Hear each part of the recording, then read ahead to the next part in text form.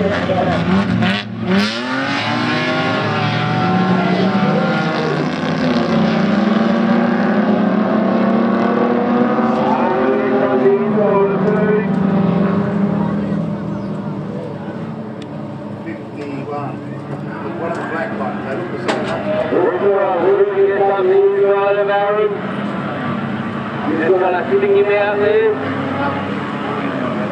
Aaron runs